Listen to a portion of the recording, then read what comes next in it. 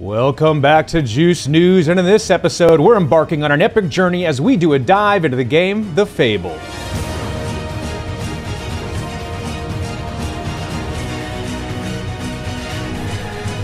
Fabled gods, warriors, and demons are engaged in an all out war to overcome the abyss. It's a battle for the ages, my friends, and you're right in the middle of it all. You'll test your skills, your wits, and your sheer determination.